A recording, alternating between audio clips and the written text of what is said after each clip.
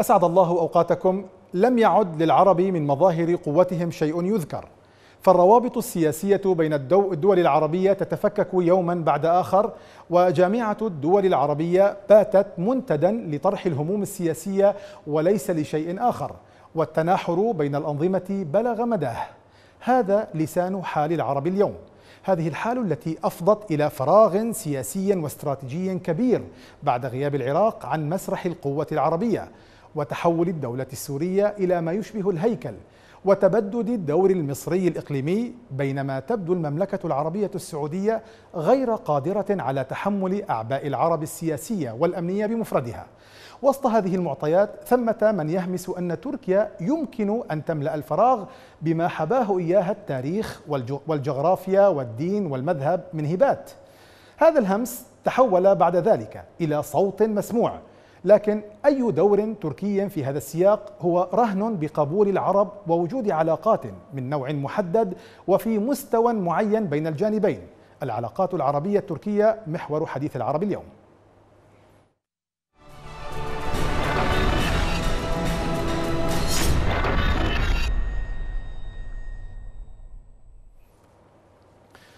ما محددات العلاقة بين العرب وتركيا؟ وما حال هذه العلاقة اليوم بعد أكثر من عقد ونصف على عودة تركيا إلى محيطها الإسلامي منذ وصول حزب العدالة والتنمية الحاكم إلى السلطة؟ كيف تأثرت العلاقات بين الجانبين العربي والتركي بموجة الثورات التي ضربت عددا من الدول العربية؟ ماذا يريد كل طرف من الآخر وما مدى قدرة الجانبين على بلورة صيغة علاقات تقودهما إلى أداء دور حاسم في إرساء السلم والاستقرار الإقليميين. هذه نخبة من أسئلة حلقة اليوم من برنامج حديث العرب. فأهلا وسهلا بكم مشاهدينا الفاضلين إذا هل اللقاء المتجدد الذي تأتيكم تفاصيله بعد التقرير التالي. وسط أجواء من عدم الاستقرار والسيولة السياسية تعيشهما أكثر من دولة عربية يبدو الدور التركي رقما لا يمكن إهماله في معادلات التوازن الإقليمية. لما تتمتع به العلاقات العربية التركية من خصوصية وأهمية. تلك العلاقات التي شهدت مرحلة من إعادة البناء منذ العام 2003 تزامنا مع وصول حزب العدالة والتنمية إلى الحكم وما تبع ذلك من مواقف وسياسات تركية منفتحة على المحيطين العربي والإسلامي. أول المواقف كان رفض البرلمان التركي السماح للقوات الأمريكية بالعبور من الأراضي التركية إبان غزو العراق. ما ترك اثرا ايجابيا في الأوساط العربية التي وقفت ضد الاحتلال الأمريكي. وتتابعت المواقف التركية المتجاوبة مع الحق العربي في فلسطين. تتابعا زاد من عمق العلاقات مع العرب بالقدر الذي أثر سلبا على التحالف العسكري الذي كان قائما بين أنقرة وتل أبيب وحوله إلى خصومات ومواقف سياسية حادة. بلغت ذروتها بمقتل سبعة متطوعين أتراك حين اعتدت القوات الصهيونية على سفن أسطول الحرية الذي كان في طريقه لكسر الحصار الصهيوني على قطاع غزة. ومع اندلاع الثورات الربيع العربي كان لتركيا دور في مساندة تلك الثورات. مساندة رسمت صورة أكثر قربا من نفوس الشعوب العربية، غير أن الربيع العربي ما لبث أن انتكس في أكثر من دولة عربية بفعل الثورات المضادة. الأمر الذي أورث تركيا خصومات مع بعض الأنظمة التي ترى في حكومة أنقرة مساندا قويا لمن تصفهم بدعاة الفوضى في المنطقة. ورغم ما اعترى العلاقات التركية العربية من فتور بسبب مواقفها من الربيع العربي إلا أن تركيا تظل عاملا بالغ الأهمية في ظل التطورات الأخيرة في سوريا والعراق واليمن وما يتكشف عن عمق التمدد الإيراني المتشح بالمذهبية في المنطقة العربية. وكذا ما يتردد عن صفقة القرن لتصفية القضية الفلسطينية. كل ذلك يفرض على تركيا وعلى الدول العربية تنسيق الجهود لمواجهة خطر بات يهدد الجميع. للحديث عن هذا الموضوع معي في الاستوديو سمير نشار العضو السابق في الائتلاف الوطني السوري وعبر الأقمار الاصطناعية من إسطنبول فراس رضوان أوغلو الكاتب والمحلل السياسي التركي. مرحبا بكما. أبدأ معك فراس ما المفاصل الأساسية التي تتركز أو تتأسس عليها العلاقة بين تركيا والعرب؟ ممكن أن نلخص ذلك في عدة نقاط لكن أهمها ربما ثلاث نقاط. النقطة الأولى هي العلاقات الاستراتيجية. دائما هناك بين الدول آه، ما يسمى بالعلاقات الاستراتيجية. تكون بين آه، هناك مشاريع طويلة مشاريع مؤجلة مشاريع مهمة جدا. والنقطة الثانية هي المجال الاقتصادي. المجال الاقتصادي أيضا هو مهم جدا في العلاقات بين الدول. والنقطة الثالثة هي المجال الثقافي الذي ينطوي تحت منه ما يسمى الدين ما يسمى العادات المشتركة ما يسمى بالجوار بينهما. ولذلك هذه النقاط الثلاثة ربما هي من أهم ما, ما يشمل العلاقات بين الدول فيما, نف فيما بينها. مثلا أعطيك مثال العلاقات الاستراتيجية بين تركيا والولايات المتحدة الأمريكية هي علاقات استراتيجية ضخمة ومهمة جدا بالنسبة لتركيا لأن تجد فيها مثلا البعد الاستراتيجي. بينما العلاقات الاقتصادية أنا أعطي مثلا بعيد أيضا هو مثلا مع روسيا تصل إلى 100 مليار هذا لا يتناسب مع مع تركيا آه، مع الولايات المتحدة الأمريكية في فرق كبير. هناك 17 مليار مع الولايات المتحدة الأمريكية لكن الاستراتيجية مختلفة. مع روسيا هناك 100 مليار دولار هذا أيضا شيء آخر. آه، لكن كلا الطرفان لا يشتركان بالعلاقات التركية العربية وهي علاقة الدين علاقة العادات المشتركة علاقة الثقافة المشتركة.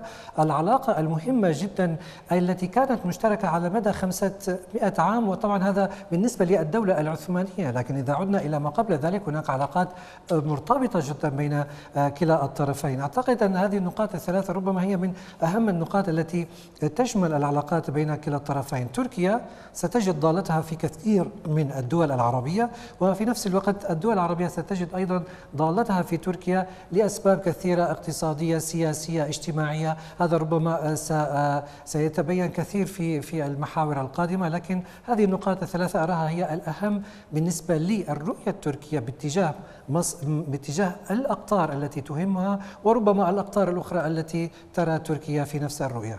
نعم.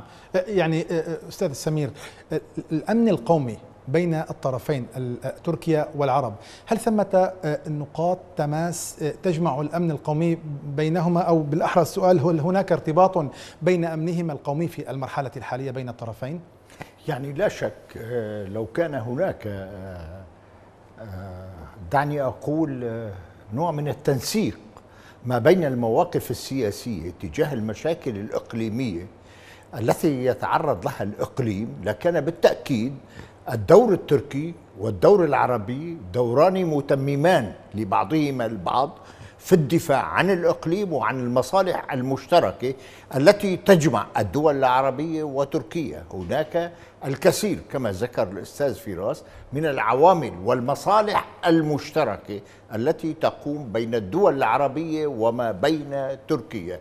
لسوء الحظ أن هناك ربما تباينات سواء كان في طبيعة النظام السياسي النظام التركي هو نظام علماني في جذره وإن كان آه، آه، حاليا في السلطة موجود حزب ذو خلفية إسلامية في أغلب الدول العربية للأسف الشديد هي دول هشة لا تتمتع بمشروعية دستورية من قبل شعوبها وبالتالي لا يوجد آلية ديمقراطية لانتخاب قيادات سواء كان في جميع الدول العربية بحيث تستطيع أن تكون ندا حقيقيا لتركيا. بالإضافة طبعا أن هناك ربما أصبح في الفترة الأخيرة آه، ربما آه، آه، خلاف مصالح ما بين تركيا وما بين الدول العربية خاصة في مرحلة الثورات الربيع خلاف العربي. خلاف مصالح. أريد أن أعود معك إلى قضية الأمن القومي للأمن المنطقة أمنهما القومي. هناك من يقول بأن الأمن القومي نظرة كل من تركي من آه، آه، تركيا والدول العربية مغاير أو مختلفة بالنسبة لموضوع مهددات الأمن القومي. العرب مثلا يرون في إيران المهدد الأكبر لأمنهم القومي بينما تركيا لا ترى في ذلك ربما ترى في الأكراد. والأكراد آه، العرب يدعمون يعني ما تأثير هذا التباين في مهددات الأمن القومي العربي على طبيعة العلاقة بين الطرفين؟ بالتأكيد ما ذكرته هو هي موضع الخلاف الذي نشهده حاليا ما بين الدول العربية الخلاف آه، في الموقف من إيران وأولوية الصراع هل هي حاليا مع إسرائيل أم مع إيران؟ كما تحاول إيران أن تلقي الضوء على أن الأولوية هي الصراع مع إسرائيل. الدور الإيراني في المنطقة أرسل رسالة سلبية إلى الدول العربية بأن أمنها القومي هو موضع تهديد. هذا الاعتبار لم يكن يأخذه تركيا على محمل الجد لأنه تركيا ترتبط بعلاقات وثيقة جدا مع إيران. ربما تركيا تحاول أن توازن ما بين مصالحها ولا تنحاز للطرف العربي وإنما تضع المصالح مصالح الدولة التركية مع إيران في كفة الميزان قياسا للدول العربية وهذا الميزان ربما في بعض الحالات يصبح فيه خللا لم يكن ميزانا عادلا أو متوازيا وبالتالي نتيجة الأزمات التي يتعرض لها تتعرض لها المنطقة والدول العربية خاصة آه، نجد أن هناك فعلا خلافات وتباينات وربما آه، للأسف نعم. يعني صراع من تحت الطاولة كما يمكن القول ما بين السياسة التركية وسياسات بعض الدول العربية. لا أدري إلى أي مدى تصح في نظرية الصراع من تحت الطاولة. دعني أسأل فراس. فراس كمراقب ومتابع بنظرة تقييمية كيف يمكن وصف العلاقة الراهنة بين تركيا وبين العرب في المرحلة الحالية؟ يعني قبل أن أدخل في هذا السؤال أنا فقط أريد أن أعود إلى التاريخ قليلا لأن التاريخ هذا مهم جدا بالنسبة لبناء هذه العلاقات التركية العربية. العلاقة اللي نعود قليلا فقط إلى مرحلة الدولة العثمانية وبعد ذلك ندخل في الدول العربية. العلاقة العثمانية العربية كانت علاقة هي آه، كبيرة ومهمة جدا حتى أن يعني من أحد أهم مستشاري السلطان عبد الحميد الثاني كان اثنين من العرب ما يسمى بالعربي أبو الهدى وأيضا آه، بهجة باشا الذي هو طلب من السلطان ما يسمى بمد الخطوط سكك الحديدية من بلاد الشام إلى مكة. وبعد ذلك آه، حصل ما حصل حصل من التطور في تلك المناطق إضافة إلى أن القضية الأخرى التي تربط آه، تركيا هذا تركيا ب آه، أو الدولة العثمانية مخلفاتها الدولة آه، الجمهورية التركية في المنطقة العربية هي القضية الفلسطينية التي كانت هذه أيضا محط صراع في في منذ ذلك الوقت حتى الآن.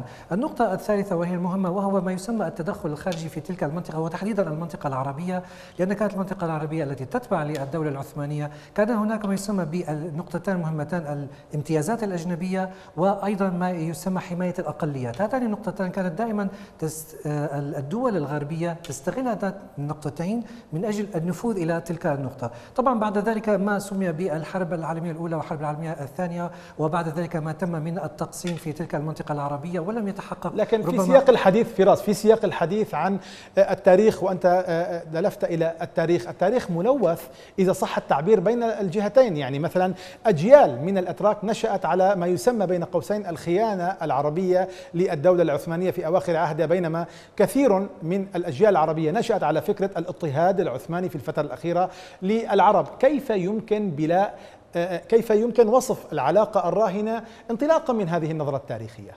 طبعا هذه النقطة النقطة مهمة جدا هي ما يسمى وصول آه، القوميات المتشددة، وصول القوميات المتشددة جعل من التمزق الاجتماعي والنسيج الاجتماعي ليس فقط بين العرب وتركيا بين ربما من كثير المجتمعات، يعني هذا النسيج الذي انهار أيضا في منطقة البلقان وأيضا النسيج الذي انهار بعد ذلك في مناطق متعددة حتى جيران تركيا ما يسمى أذربيجان وأوزبكستان وتلك المناطق باتجاه روسيا، هذه ما يسمى بالقوميات خرجت بشكل كبير بدأ التنافس فيما بينها، حتى هذه القوميات الآن في صراعنا الحالي. سنجد أن هناك من يقول هذا من آه، الدولة الفلانية والدولة الفلانية. لم يعد يقول أنا عربي من تلك المنطقة أو من تلك الأمصار. بدأ يتكلم بقومية تلك البلد التي يقول بها. هذه العلاقة أو هذه الخلفية الثقافية الجزء منها وهي ليست حقيقية. هناك أشياء أخرى تم طمسها تاريخيا حقيقة. هذه أسست إلى علاقات مو آه، ممكن نقول مترددة متصاعدة متنازلة بين الدول العربية وتركيا تركيا في المرحلة العقود السابقة كانت ربما مبتعدة عن الشرق الأوسط. كان هناك نظرية في تركيا تقول الابتعاد عن الشرق الأوسط هو ابتعاد عن المشاكل لأن الشرق الأوسط والمنطقة العربية هي منطقة آه، محور للمشاكل. لكن بعد وصول العدالة والتنمية هو وجد أن هذه ربما نقطة ضعف أيضا كانت في في تركيا. فتركيا تمتاز بموقعها الجيوسياسي أي أنها نقطة قدم في الغرب وقدم في الشرق وهي دولة إسلامية لديها حضور إسلامي كبير وهي آخر خلافة إسلامية تقصد دولة مسلمة. نعم وهي كانت الأخيرة في ذلك الوقت. إذا يمكن أن يكون لديها ارتباطات مهمة في المنطقة العربية. هذه الارتباطات أيضا جعلتها فيما يسمى بالثورات العربية القادمة ارتباطات مع الأحزاب الإسلامية. وربما كان هذا واضح لها دور في هذا النقطة لكن بعد ذلك أعتقد أن تركيا تراجعت نوعا ما دعني في دعني هذه دعنا السياسة. آه، فراس دعنا نؤخر الحديث عن آه، آه، العلاقة بين العرب وتركيا في ضوء المتغيرات وهي الثورات العربية. إلى المحور الثاني واسمح لي أن أعود الآن إلى أستاذ سمير. آه، العلاقة كيف يمكن وصف العلاقة الآن بين العرب وبين تركيا في حقبة حقب حزب العدالة والتنمية؟ يعني قدم حاول فراس مثلا أن يقدم صورة ناصعة عن العلاقة بين العرب وتركيا في ضوء في فترة حكم حزب العدالة والتنمية. هل توافقه على هذه الرؤية المتفائلة أم أن ثمة أمور أخرى ينبغي الحديث عنها؟ أعتقد أنه في قطاع واسع من الرأي العام العربي. ينظر على أنه يجري توظيف الانتماءات الإسلامية لمصلحة التمدد التركي في الدول العربية كيف ذلك؟ يعني أنا أعتقد أن تركيا باعتبارها دولة قوية ودولة ذات اقتصاد قوي حاليا وجيش قوي وهي تستفيد أو تنظر أن الدول العربية هي دول ضعيفة وهي موضع تنازع وهي ترى أيضا أن إيران تنافسها في في في الهيمنة والنفوذ على الدول العربية هي تريد توظيف يعني كونها دولة يعني سنية يعني تركيا تطمح للهيمنة على الدول العربية تقصد؟ آه طبعا طبعا يعني ولكن بشكل ناعم بشكل يعني علاقات شوا... اقتصادية آه شواهد هذا هذه الرغبة التركية يعني حتى حتى آه، ثورة الثورة السورية في عام 2011 آه، العلاقات ما بين تركيا حزب العدالة والتنمية والنظام السوري وبشار الأسد هي في أحسن أحوالها. وحتى في الأشهر الأولى من الثورة السورية قام السيد أحمد داود أوغلو وزير خارجية في ذلك الحين بزيارات متعددة وكثيرة في الأشهر الأولى من الثورة في محاولة لإصلاح ذات البين ما بين الإخوان المسلمين وما بين النظام السوري لمحاولة أنه إجراء إصلاحات وتنازلات من قبل النظام السوري للإخوان ويمكن أن هذا هذا لا يدل على رغبة تركيا في الاستحواذ على الدول العربيي أو الهيمنة على الدول العربية. لا أنا أعتقد يدل أنه أنه هناك كان نوع من الدور السياسي في آه، في في الداخل السوري. إذا انتقلت إلى غير سوريا نعم. أيضا تجد أن في فلسطين مثلا حزب العدالة والتنمية يؤيد حركة حماس أكثر مما يؤيد السلطة الوطنية الفلسطينية. لأن حركة مقاومة. لا وهو السلطة الفلسطينية أيضا هي بأساسها يعني حركة, أريد أن حركة مقاومة. أريد أن أناقش معك أستاذ سمير. يعني لو كان لو افترضنا بما تفضلت به بأن تركيا لديها الرغبة في الهيمنة على الدول العربية لكانت دعمت السلطة مثلا في فلسطين على حساب حماس البقعة الجغرافية الصغيرة المحاصرة. ثم يعني أين تتبدى شواهد الرغبة التركية في يعني أليس ربما يعني مشاهدون ربما يسألون أليس من الغبن أو الظلم هو مساواة تركيا بإيران في الرغبة في الاستحواذ أو الهيمنة على الدول العربية؟ لا ماذا فعلت تركيا مثلا للدول لا العربية؟ أنا بعتقد أنه تختلف يختلف أسلوب التركي عن الأسلوب الإيراني. إيران تعتمد على المكونات الشيعية في الدول العربية لتحريضها على الكيانات أو على الأنظمة السياسية ومحاولة إنشاء وكما حصل في لبنان وكما حصل في العراق وكما يحصل حاليا في سوريا تشكيل ميليشيات من المكونات أساسا من المكونات واضح الشيعية. الدور الدور التركي. التركي أنا أعتقد أنه اعتمد على الجماعات الإسلامية في ثورات الربيع العربي واعتمد تحديدا على الإسلام السياسي المتمثل في جماعة الإخوان المسلمين. تركيا دعمت الجماعات الإسلامية سواء كان في ليبيا وفي حتى في فلسطين كان الدعم لحركة حماس نتيجة ارتباط إيديولوجي كون حركة حماس من جذور إخوان مسلمين. كذلك في سوريا الجماعات الإسلامية والاخوان هم مدعومين من تركيا نعم. وأيضا في مصر الظاهرة الجلية أن حكم الإخوان المسلمين طيب. في مصر كان مدعوما من قبل تركيا يعني قفزت هي بنا حاولت قفزت بنا سريعا إلى المحور الثاني لكن لم تستطع أن تقنعني أنا كمحاور لك حتى الآن على وجود رغبة من خلال هذه المعطيات التي طرحتها وجود رغبة تركية حقيقية على الهيمنة وهي تحالفات تبنيها أي دولة. دعني أذهب إلى فراس. فراس ليس واضحا حتى الآن ملامح السياسة الخارجية التركية وخصوصا فيما يتعلق بالدول العربية. هل يمكن أن ترسم لنا هذه الملامح غير الواضحة لدى كثيرين من العرب؟ ومنهم الأستاذ سمير نشار الذي يرى في السياسة التركية نزوع نحو الهيمنة على المنطقة العربية. نعم حقيقة هناك بعض التخبطات في السياسة الخارجية التركية باتجاه المنطقة العربية للتبدلات الكثيرة التي تحصل في المنطقة العربية. يعني آه، العلاقات كانت مع سوريا من ممكن من أفضل العلاقات بين بين الدول الجوار. وكانت هذه علاقات براغماتية حقيقية لا تعتمد على مسلوب إن كان حزبا اسلاميا أو غير إسلامي. أعتقد ان النظام في في سوريا كان اسلاميا ولكن كانت علاقات جيدة. بعد ذلك انقلبت هذه العلاقات. هذه خسارة لتركيا بشكل عام. أيضا في العراق هناك خسارة لتركيا نحن نتكلم من الناحية السياسية ومن الناحية الاقتصادية أيضا. لكن آه، نحن آه، العرب إذا الدول العربية نقسمها إلى قسمين أو حتى ثلاثة إن صح التعبير عرب المشرق وعرب آه، المغرب وهناك ربما المنطقة الوسطى وهي مصر والسودان. في الزيارة الأخيرة مثلا للرئيس أردوغان إلى منطقة السودان أثارت حفيظة آه، مصر بشكل كبير لأن هناك ربما تياران إن صح التعبير في المنطقة العربية التيار القومي ربما والتيار الإسلامي. ربما التيار القومي هو لا يرى في تركيا عدو ولكن يرى بها أنها خطر بالنسبة للنفوذ بالنفوذ السياسي الداخلي بالنسبة له وبالنسبة لخصومه السياسيين. نعم. وبينما الطرف الثاني يرى بذلك بالعكس تماما بأنه مساند له وهذا سيجعل من تركيا نوعا ما متحفظة. يعني على سبيل المثال في مصر الآن آه، كيف تركيا سترى القضية في مصر؟ هناك ربما رئيس منتخب كان وأوضع في السجن. والآن هناك آه، نظام آخر. آه، هل تقطع العلاقات؟ هذا مستحيل جدا. هل العلاقات بين كلا الطرفين مستحيلة؟ لأن مصر لها دور استراتيجي. هناك دول الخليج العربي لديها استراتيجية مهمة جدا بالنسبة لتركيا. لا يمكن مهما حصل خلاف ربما أخيرا حصل خلاف آه، وتهاترات سياسية بينها تركيا وبين مثلا الإمارات العربية المتحدة حول تويتر الذي أطلق. ولكن هل هذا أدى إلى علاقات هبوط في العلاقات السياسية بين كلا الطرفين؟ أعتقد لا لأن الاستثمارات الإماراتية في تركيا مهمة جدا وأيضا نفس الشيء بالنسبة لتركيا في الإمارات. هذه السياسات تجعل من تركيا متحفظة وربما آه، آه، هادئة في كثير من الأمور. في المغرب العربي في تونس في الجزائر هذه كثير من الدول يدخل آه، مواطنوها دون فيزا إلى قبل تركيا. أن قبل أن أذهب إلى الفاصل فراس هل توافق مع على ما قاله نشار من أن تركيا تمتلك رغبة بالهيمنة على المنطقة العربية وهي تتنافس في ذلك من أجل ذلك مع إيران؟ باختصار.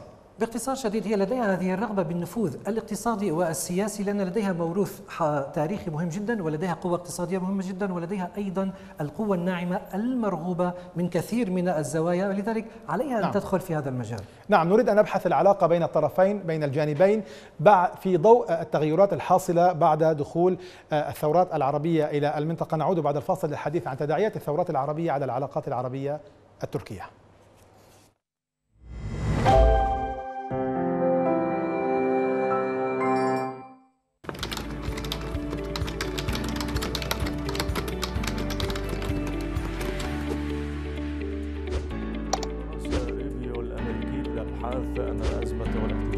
أهلا بكم مشاهدينا الكرام إلى حلقة جديدة من توصل دوت كوم. أهلا بكم مشاهدينا الكرام في هذه الحلقة.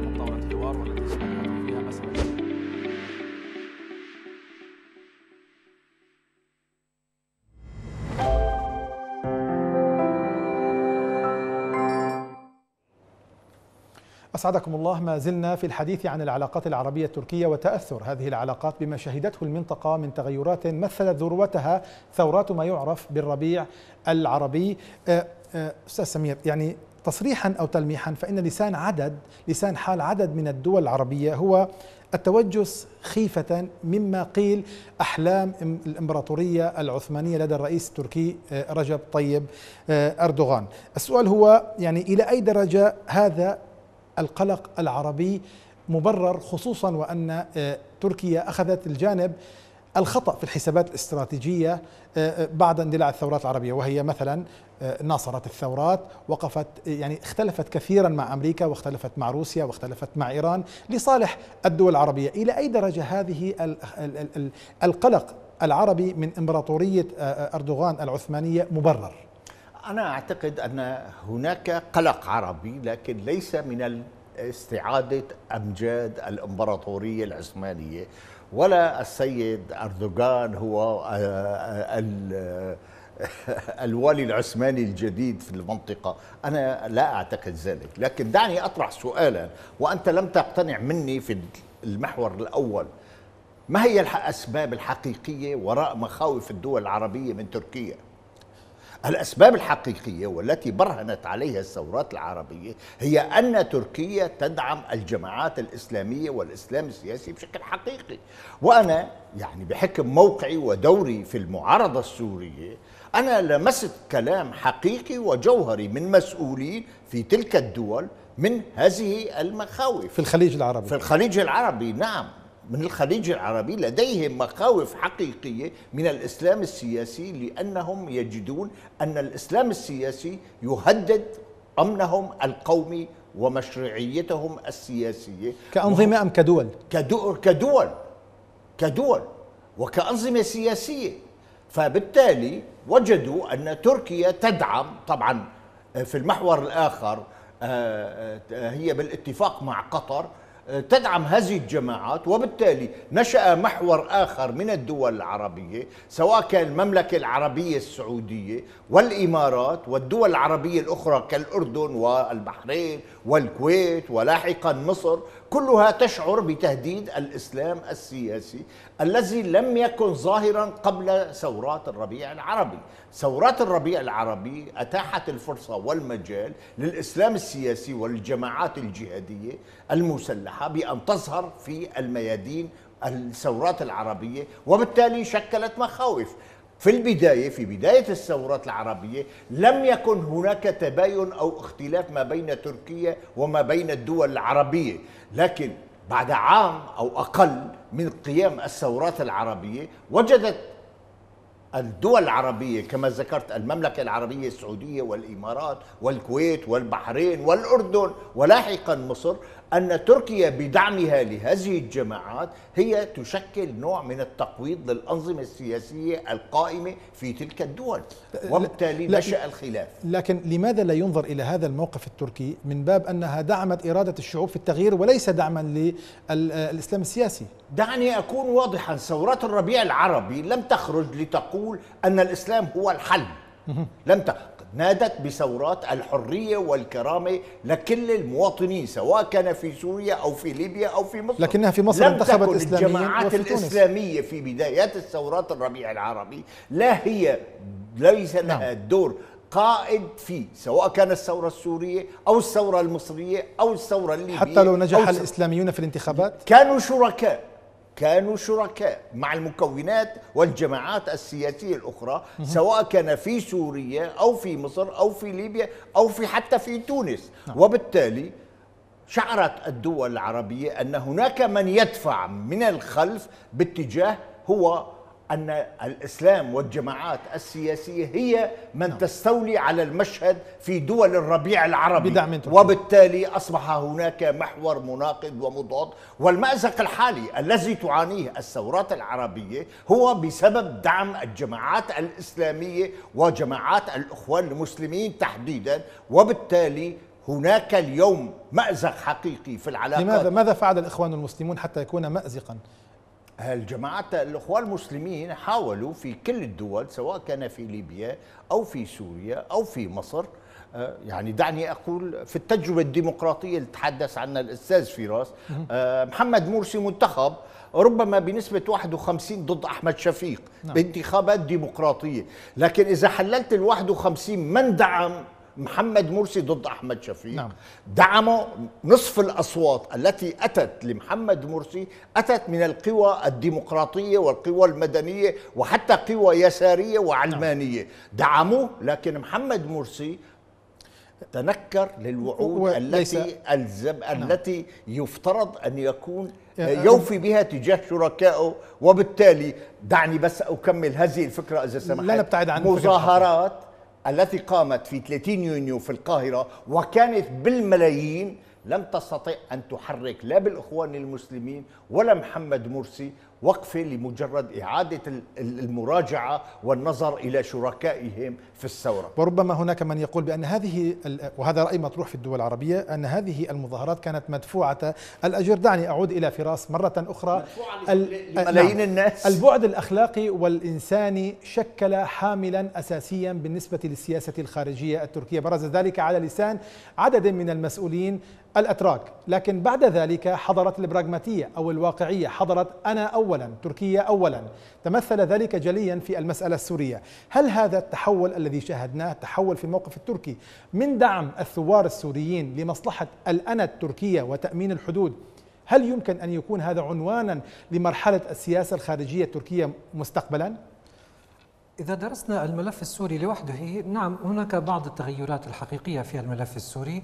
ربما تركيا نظرت إلى الأمن القومي أولا وبعد ذلك آه، إلى آه، أيضا الحالة الإنسانية السورية. هذا حقيقة نعم واضح في السياسة التركية باتجاه آه، الملف السوري. لأن الملف السوري أصبح شائك. هناك عدة دول كبيرة أهدافها مختلفة تماما عن الأهداف التركية. حصل نزاع مسلح في تلك المنطقة بالوكالة وبعد ذلك حصل صراع سياسي. يعني تركيا هل ستواجه بنفسها مع المعارضة السورية؟ كلا من الولايات المتحدة الأمريكية وأيضا روسيا وخلفهم إيران وخلفهم بعض دول الاتحاد الأوروبي التي لا تساند بشكل كبير تركيا وبعضهم كان يساند تركيا في هذه العملية مثل هولندا على سبيل المثال. لذلك هذا في الملف السوري. في الملف المصري الرؤية التركية كانت ترى بأن هذا الرئيس المنتخب وإن تنكر إلى آه، آه، آه، من انتخبه هذه حياة السياسية هكذا تكون. بعد ذلك فليسقط في الانتخابات القادمة ويأتي شخص آخر. لكن أن يكون هناك انقلاب كانت تركيا ترفض تماما الانقلابات لأن تركيا أيضا كانت بلد الانقلابات ولديها حساسية في هذا آه، الموضوع. لذلك كانت ترفض بشكل كبير. وبعد ذلك آه، حصل ما حصل بالأزمة السياسية. ولكن هذه الأزمة السياسية مغلفة في نزاع صراع نفوذ سياسي. بعد ذلك أصبح نزاع أيضا لا ننسى أن هناك نزاع مصري تركي في نعم. كثير من القضايا منها الغاز وربما منطقة البحر المتوسط في تلك المنطقة. هذه النقاط آه، مختلفة. إذا هناك ملفات مختلفة. في منطقة الخليج العربي هناك التخوف بتلك الدول من تركيا بالنسبة لدعمها الإسلام السياسي. نعم لأن الأحزاب الإسلامية السياسية العربية ربما تتوافق بشكل أكبر أيديولوجيا وفكريا وحزبيا مع حزب العدالة والتنمية آه، آه، ليس كالأحزاب الأخرى.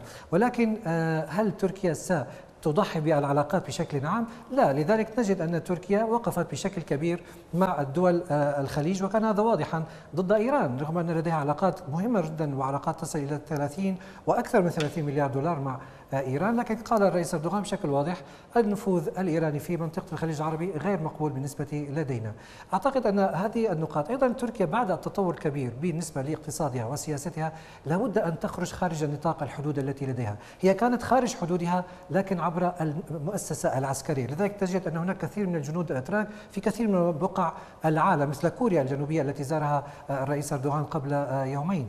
لذلك الآن هناك انطلاق اقتصادي انطلاق سياسي انطلاق ثقافي. نعم. وهذا هذه الانطلاقات وجد بعض السياسيون العرب بأنها تكملهم بالنسبة لنفوذهم السياسي والآخر وجدها أنها خطيرة لنفوذه السياسي. هذا ربما أثر أيضا في العلاقات نعم. بين كلا الطرفين. نعم. أستاذ سمير تبدو أنقرة الآن تحاول أن تمسك العصا من الوسط فيما يتصل بالعلاقة بين إرادة التغيير لدى بعض لدى جماهير بعض الدول العربية وبين الأنظمة العربية. هذه السياسة سياسة الإمساك بالعصا من الوسط.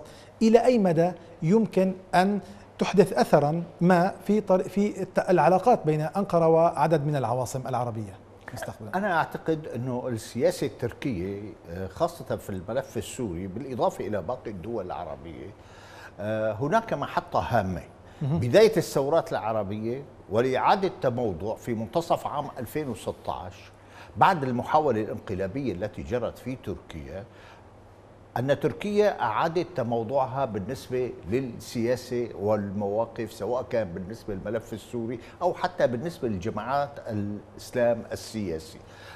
ليس التخلي نهائيا عن جماعات الإسلام السياسي وإنما آه، أخذ الاعتبار في الأولوية هو فقط للمصالح الدولة التركية بعد أن شعرت أن هناك تهديد حقيقي لحدودها من قبل قوات حزب البيدي وخشيت خاصة أن علاقاتها مع الولايات المتحدة الأمريكية هي علاقات متوترة ومتشنجة ولا الثقة تكاد تكون مفقودة بين الدولتين. شعرت تركيا بأن عليها إعادة التموضع من هذه القضايا والانتباه والنظر وإعطاء الأولوية لموقفها من قضية الأكراد أو قوات البيدي التي تحاول أن تبني كيانا سياسيا على حدودها الجنوبية وهذا يشكل تهديد للأمن القومي التركي. من هنا تركيا أعادت النظر في جميع مواقفها وأعطت الأولوية لهذا الموضوع ولضمان حدودها وأمنها القومي ولم يعد يعنيها إذا انتصرت الثورة السورية أم لم تنتصر ولم يعد يعنيها من يحكم دمشق وتحاول قدر الإمكان إصلاح العلاقة مع المملكة العربية السعودية. لكن حتى الآن المملكة العربية السعودية نتيجة المحور الذي نشأ بقيام من قبل أربع دول السعودية ومصر والإمارات العربية وبالبحرين وبالصفوف الخلفية هناك الكويت وهناك الأردن. تجاه المخاوف الحقيقية التي يشعرون بها من قبل إيران. سنبحث هذه التحديات التي تعترض نعم. بلورة علاقة قوية بين الطرفين بالضبط. بعد العودة من الفاصل نذهب إلى الفاصل قبل العودة لاستكمال ما تبقى من الحلقة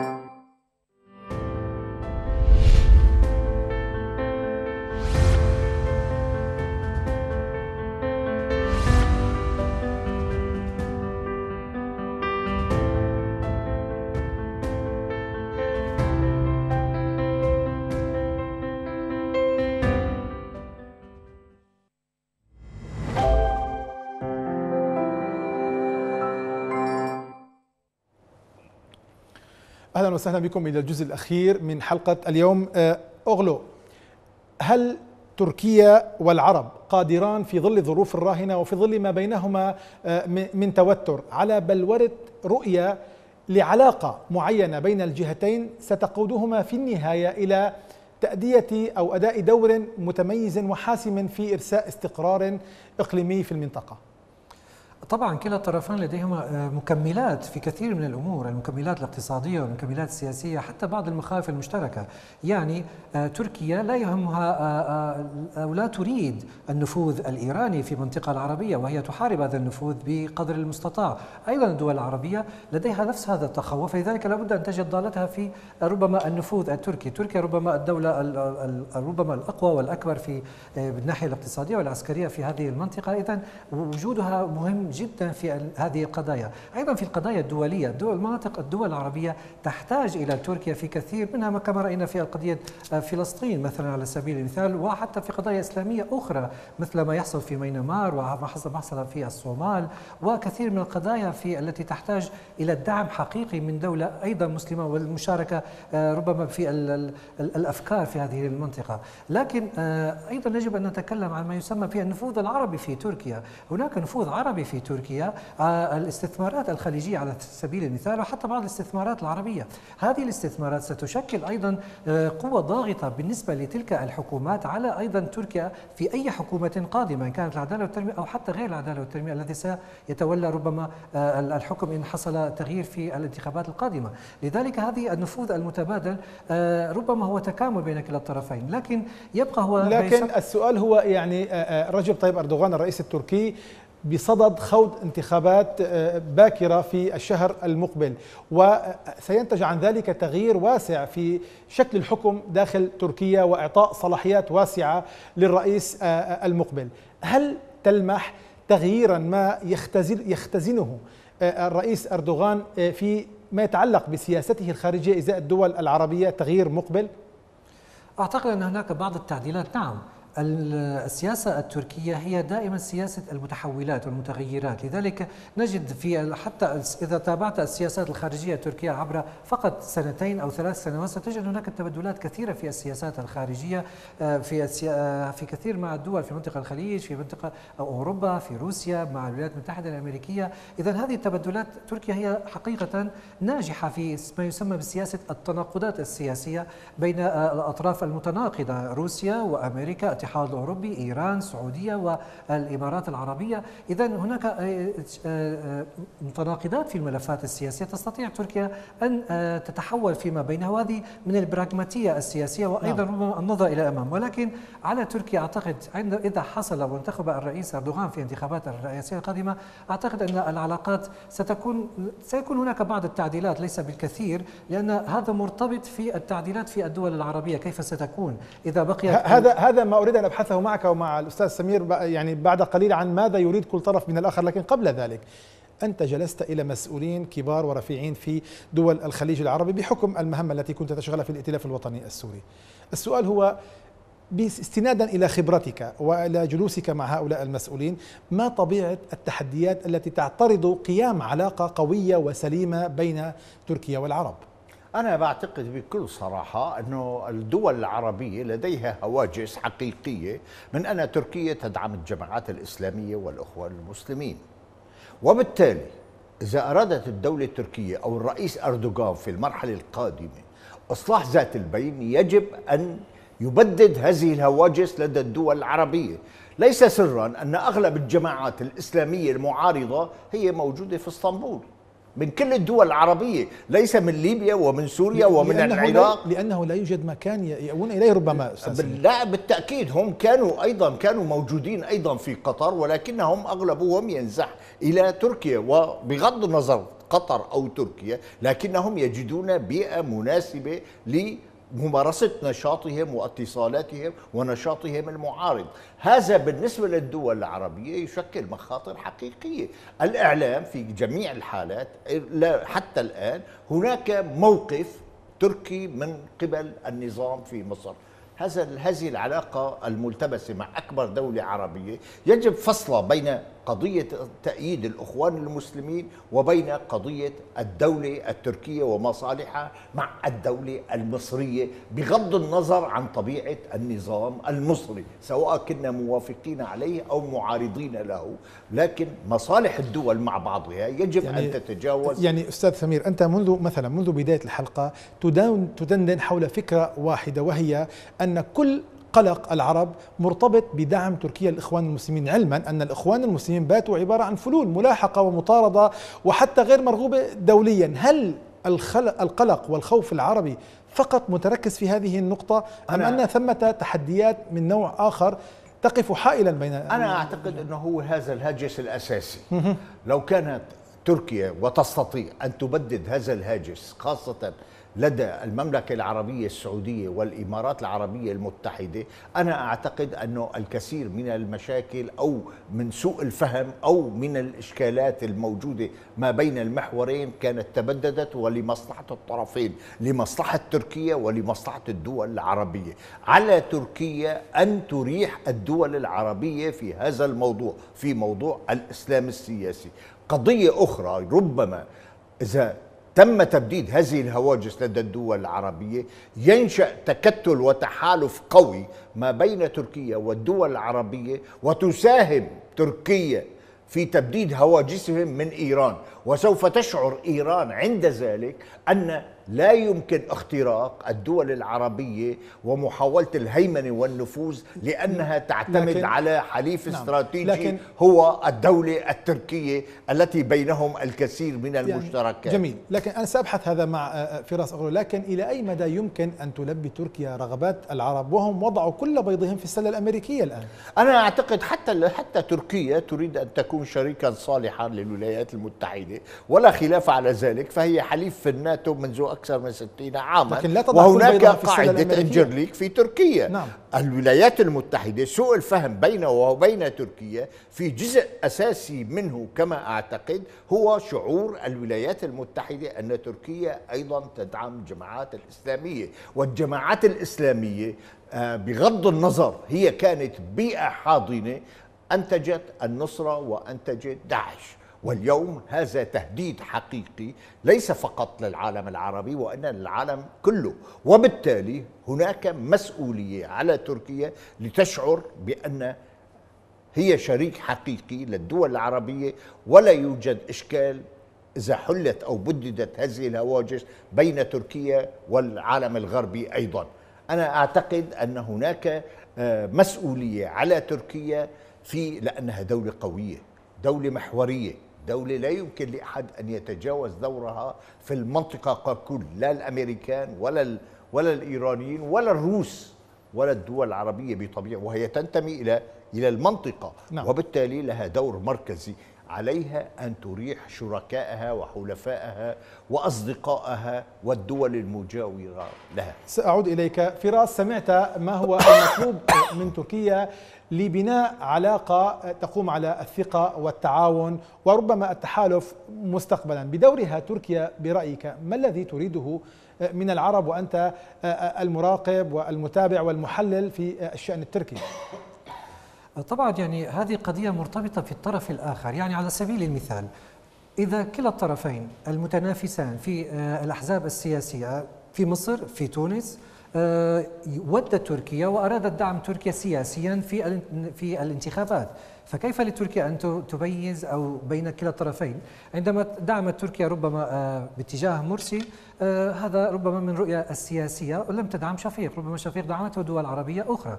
وهنا نجحت ربما فازت تركيا في هذا السياق. لكن أيضا كانت كانت تركيا تدعم السيد الغنوجي في في تونس.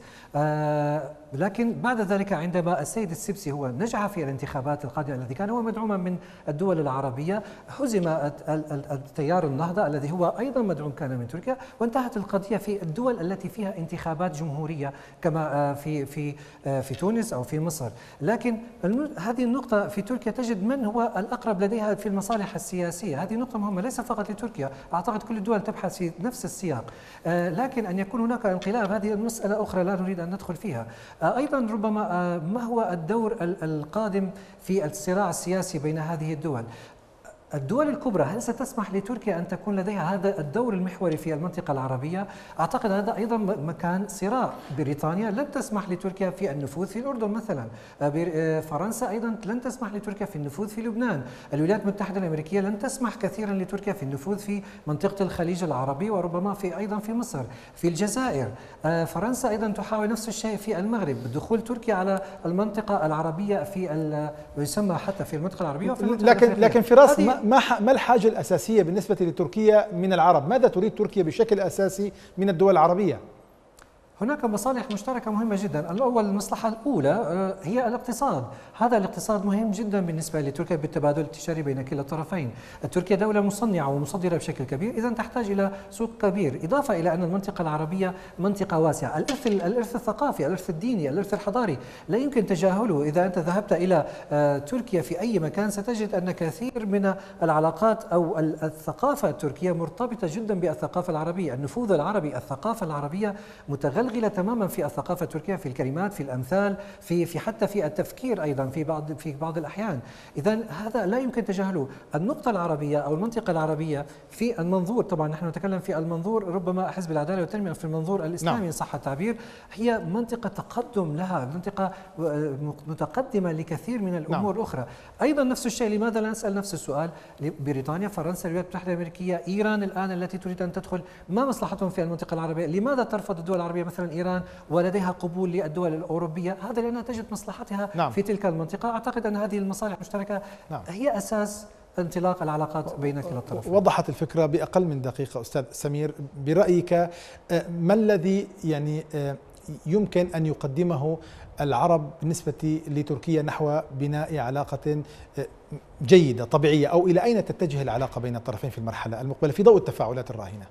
أنا أعتقد أن تركيا تستطيع أن تلعب دورا كبيرا في الدول العربية لأن الدول العربية كلها مكان صالح للاستثمار. تركيا دولة صاعدة اقتصاديا وتتمتع بنسب نمو عالية وربما بالنسب الأولى في العالم وبالتالي هي بحاجة إلى سوق. الدول العربية ليست لديها كما أظن ليست لديها مطامح تطلبها من تركيا سوى الأطمئنان والثقة على أنها لن تكون هناك دورا ما في دعم الجماعات التي تشكل هاجس لدى هذه الدول.